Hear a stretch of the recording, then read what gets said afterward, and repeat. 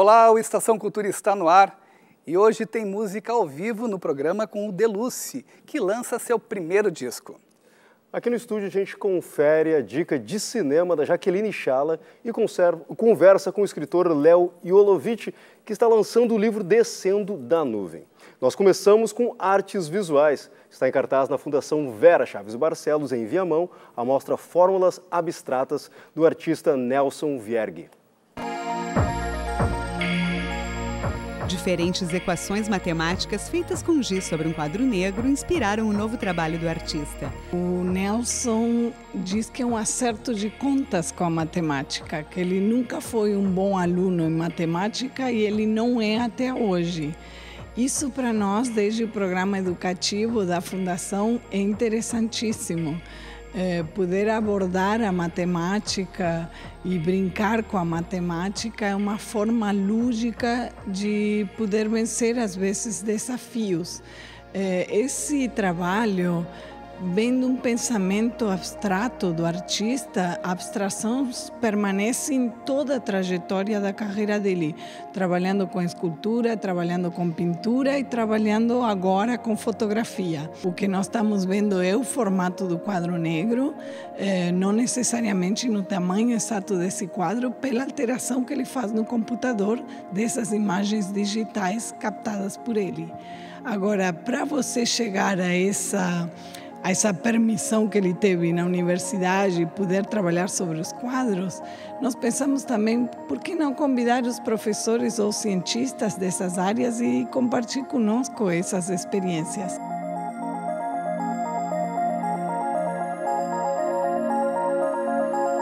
Nós já trabalhamos na, por ocasião da exposição Fotografia Transversa, essa introdução das novas tecnologias é, que hoje perpassa todos nós. A comunicação se faz de forma diferente, os tempos são outros. No próprio vídeo, numa fala do Nelson, ele comenta de não temos tempo para pensar. É, por outro lado, eu acredito que ele é um jovencíssimo homem de seu tempo, onde ele faz com um excesso de velocidade, de processamento desse próprio pensamento, o uso das tecnologias. E no mezanino da Sala dos Pomares ainda pode ser vista uma coleção de obras de outras épocas do artista. Um artista que nasceu no Rio Grande do Sul e que foi em 1966 para a Alemanha e vive lá até hoje. Ele vem periodicamente, quase todos os verões. E, e ele retoma seu trabalho. Ele fez uma carreira brilhante quando bem jovem, não é? Ele ganhou prêmios tanto no Brasil como uh, na Alemanha e, no, e, e também na Áustria, principalmente. Ele ganhou um prêmio de pintura como aluno do Vedova e foi para Veneza trabalhar com Vedova no seu ateliê. Depois retorna a Munique e trabalha em galerias e convive com maiores figuras da época. Inclusive trabalhou na famosa Galeria Art in Progress é, com exposições de, de Rauschenberg, é, Cristo, que envolveu toda a galeria, e uh, e, e outros, Andy Warhol, por exemplo.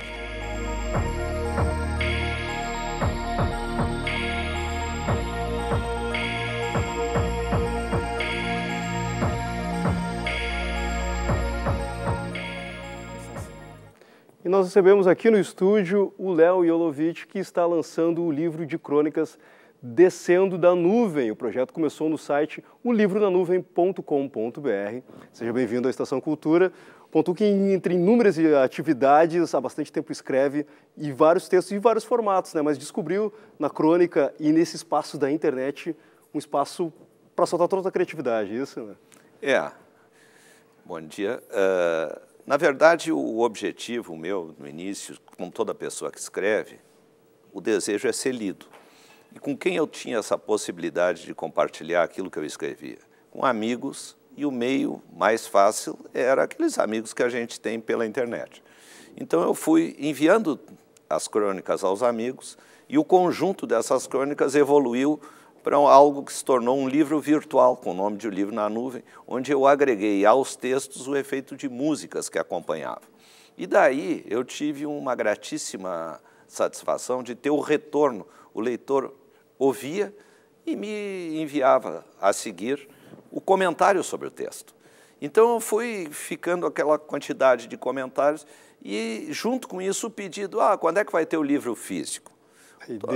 Havia o desejo, virtual. aquela história de não ficar só no livro virtual. Então, aí se reuniu um, um número bom de crônicas e estamos com um livro aí para ser lançado no sábado. Bom, então é, as crônicas que estão aqui, elas são publicadas pela primeira vez no meio físico, mas são crônicas todas que já circularam pela internet, inclusive elas vêm com os comentários que estavam lá na internet. Exatamente, isso é o que faz a diferença do livro. Né? Eu Vamos chego a dizer que é este um livro são três livros. Um era o livro virtual que era o livro na nuvem, o nome, razão pela qual o título desse é Descendo na Nuvem. Alguém até me perguntou quando leu o Sol, não? mas é um livro sobre espiritismo, coisas dessa natureza. Eu disse, olha, tem de tudo um pouco, mas não chega tanto. Está é, mais para Landelon do que para Allan Kardec. Mas aí ele veio e vai ficar disponível fisicamente, agregando os comentários dos leitores antecedendo cada texto. Ficou bem interessante. Eu sou suspeito, mas acho que ficou assim. É, realmente fica uma questão difícil de que no, eu não tinha visto ainda publicado uh, da maneira impressa isso de trazer os comentários e até antecipando, né? Exato. O, o que vem a partir da crônica. Exatamente. Eu, eu digo que é um mini prefácios, já chamei de aperitivo, ou pequeno trailer, que nem quem vai ver um filme. Ele dá uma frase assim, diz, ah, eu achei essa frase fantástica, eu aquilo acaba ficando instigante para despertar o interesse da pessoa que vai ler logo depois. Bom, interessante que os comentários são variados de pessoas de variados uh, lugares, uh, idades, Tudo. ocupações, e os teus temas também são muito variados, né? Queria falar um pouco sobre essa temática, assim, o que você acaba trazendo para dentro desse universo das suas crônicas. Exatamente, é, é, o que a gente vê no dia a dia, né? E muitas vezes uh, pessoas me perguntavam, mas esse fato é real, isso é ficção? E aí a gente brinca com o interlocutor dizendo, olha, esse é o fascínio de quem escreve, é andar nessa linha, linha tênue aí entre a realidade e a ficção, deixando sempre a pessoa na dúvida. Se eu consigo isso, está realizado. Bom, e cada um faça o bom uso que quiser do que tu está escrevendo. O evento do sábado, como vai ser, Marcelo? Olha, a ideia, como todo o processo do livro virtual, e agora ele partiu de algo que é original, que era livro com música, e esse também está sendo original porque agrega os comentários dos leitores, o evento também não tinha que ser convencional. Particularmente, eu não gosto da, da sessão de autógrafos convencional, que fica aquela fila enorme, e aí o autor muitas vezes encontra pessoas que não vê há muito tempo e fica conversando, a fila fica o pessoal falando. Então, como existe esse recurso da internet que eu já conversava com os leitores, eu já tive confirmações. Eu estou com 340 confirmações, confirmações para o evento que vai ser no sábado. Então já começou tudo diferente. Não numa livraria que é um local fisicamente mais acanhado mas no Museu de Arte do Rio Grande do Sul, que é um belíssimo local que se presta a isso, num sábado de manhã do inverno gaúcho, num dia como hoje. Então, e o horário das 10h30 às 2h30, quer dizer, a pessoa pode ir lá, encontrar os amigos, pegar o seu livro, ir no mercado, ir no restaurante. Com é o, pro, o programa completo, exatamente. É uma estação cultura, assim, eu estou plagiando vocês. Não, seja, utilize muito bem o conceito e se aproveite dele muito bem. Léo, obrigado pela tua presença. Lembrando também que continua publicando no espaço virtual, ainda tem como as pessoas continuarem essa interatividade contigo, né? Isso aí. Certo, obrigado. Parabéns pelo trabalho. Quem agradece sou eu, obrigado. Bom, agora vamos falar um pouco de artes visuais. A exposição de esculturas lá fora reúne obras de 11 artistas na Chico Lisboa Espaço Cultural.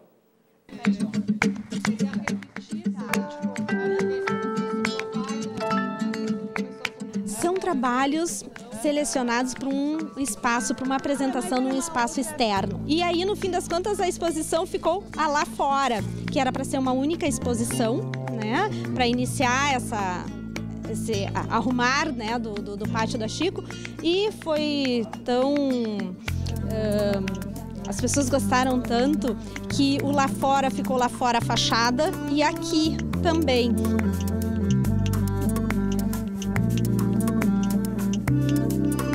A obra de arte está em praça pública, a obra de arte está nas galerias e também tem que estar num pátio como esse aqui, super nobre que a Chico Lisboa tem, né?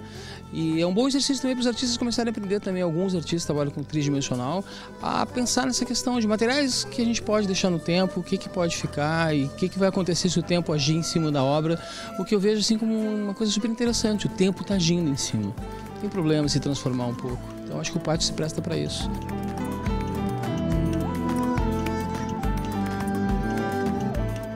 São, são artistas que estão sendo convidados e que estão mandando o material e a gente faz uma seleção, mas dentro do, do trabalho do artista, né? A gente tenta fazer uma união dos trabalhos, mas uh, são trabalhos sim que eles uh, são independentes, mas eles no conjunto eles fecham bem.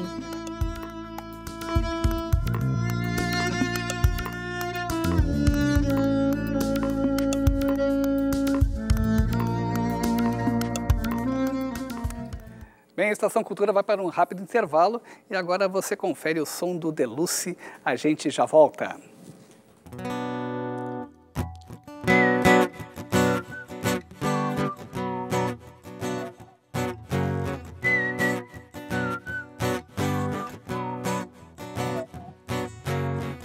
O Kama Sutra hoje é livro escolar pudor cedeu lugar à perversão. O tiririca já virou parlamentar. A vida é um cabaré, a vida é um cabaré, a vida é um cabaré. Yeah, yeah.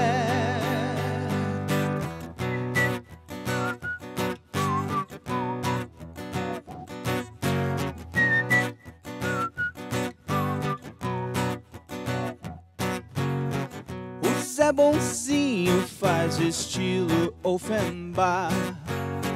Mas não aguenta ver sua filha dançar creu Ele não sabe que estamos num bordel.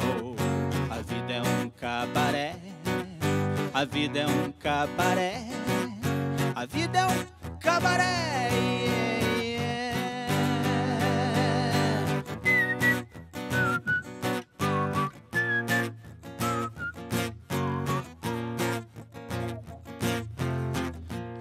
Bossa nova que ensinou a cochichar. Vive acuada em Ipanema no Leblon. É que o funk toca que toca colar. A vida é um cabaré, a vida é um cabaré, a vida é um cabaré. Yeah.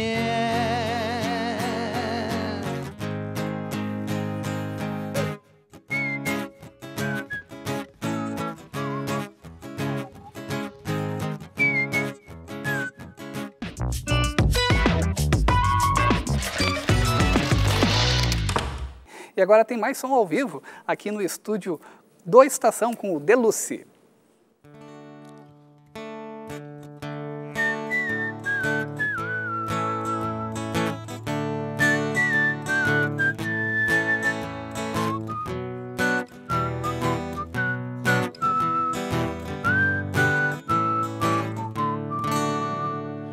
Princesinha vai mudar seus planos vai viajar comigo pra bem longe e vai despir olhando em meu olhar sua saia de elanca. Vai assoviar ao pé da árvore uma melodia de minha obra. Deus quem me dera não ficasse mais longe dela nunca mais. Princesinha, vem brincar pela praia fora. Te espero pra brindar, nossos olhares se cruzando, que legal! Princesinha vai fazer suas malas, vai levar seu disco dos Stones e vai sentir que é feliz demais quando começar sua viagem. Princesinha, vem brincar pela praia fora. Te espero pra brindar, nossos olhares se cruzando. Que legal!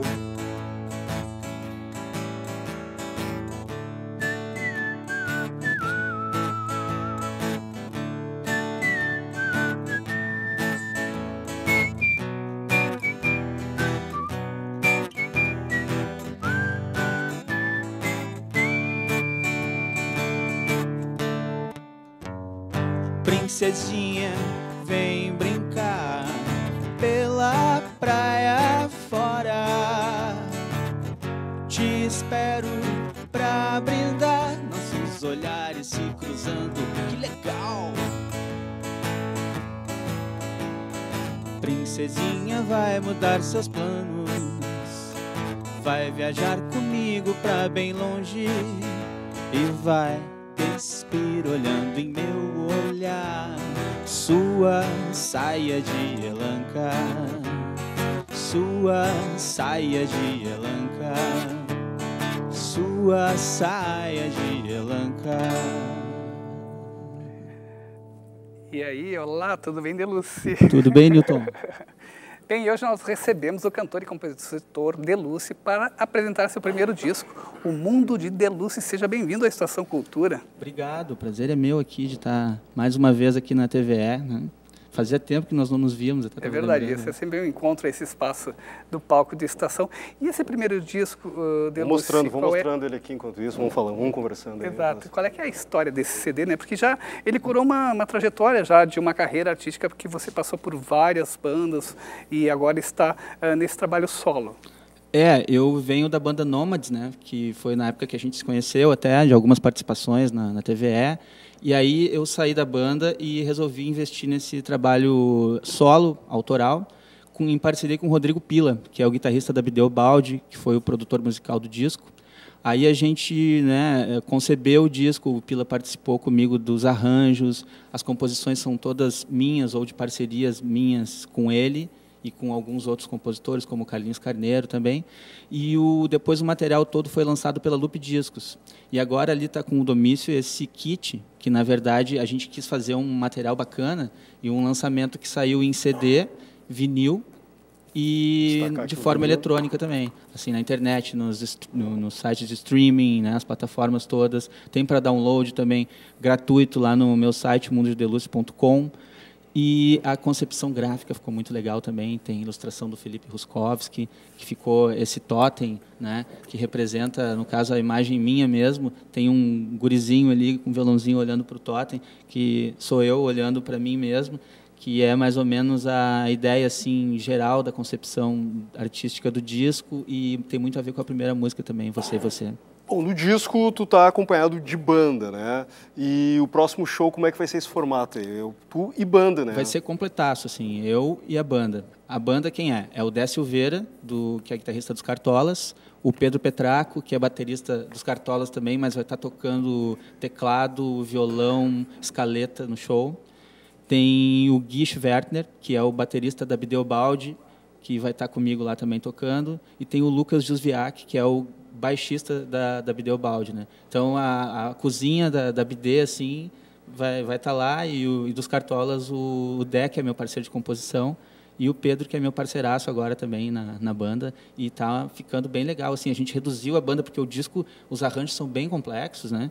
E agora para esse formato assim de estrada, né? Eu resolvi reduzir a banda para conseguir compatibilizar, né? E ficar mais fácil para viajar e fazer as coisas. Pois é, não só a complexidade está na questão dos arranjos, mas também característica da tua música, das tuas letras também, né? Tipo, esse mundo de Deluxe, ele é bem complexo, como é que ele é? É, o Mundo de Deluce é o meu universo imaginário, assim. É, eu- o título do, do disco foi a última coisa que a gente que a gente fez. Ele era para se chamar Deluce ou não ter título.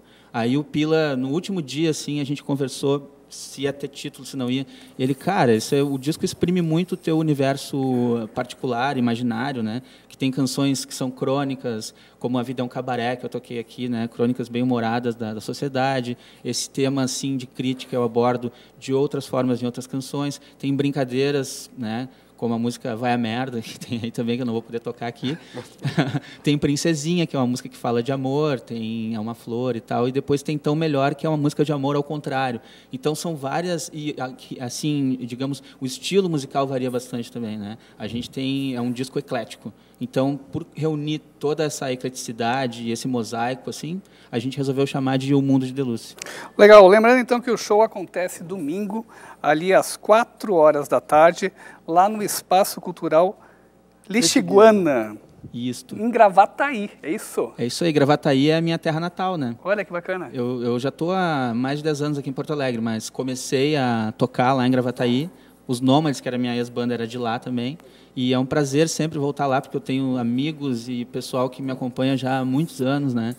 Uh... E é um espaço bem bacana isso do Letiguana. É. Bom, programa encurtando, né? Ou seja, é. chegando ao fim. É verdade, muito obrigado. Vai reservar um espaço para ter um pouco mais de música, né? Isso, e a estação de hoje fica por aqui. A gente dedica essa edição do programa ao tradicionalista Nico Fagundes, que morreu na noite de ontem, aos 80 anos. Bom, e a gente fica com mais música, como eu falei, com um pouco mais do Deluce, e a gente volta amanhã ao vivo na próxima edição, gravada também na nossa reprise na noite. Obrigado. Obrigadão aí a vocês. Vamos de música então.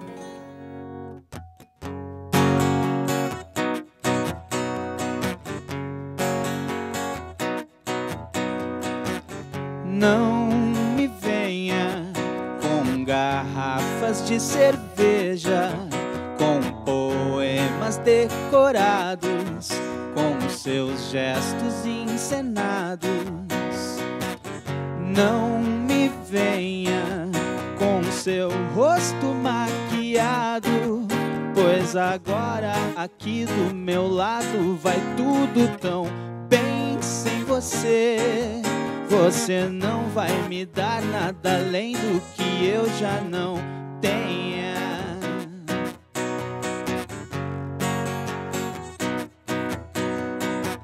Não insista com rodeios e etiqueta mensagens com recados, um romance inventado. Não seus mistérios. Se eu estou tão sozinho, ninguém vai dizer nem que sim, nem que não. Você deu seu melhor mas o tempo haverá de me dar a razão que eu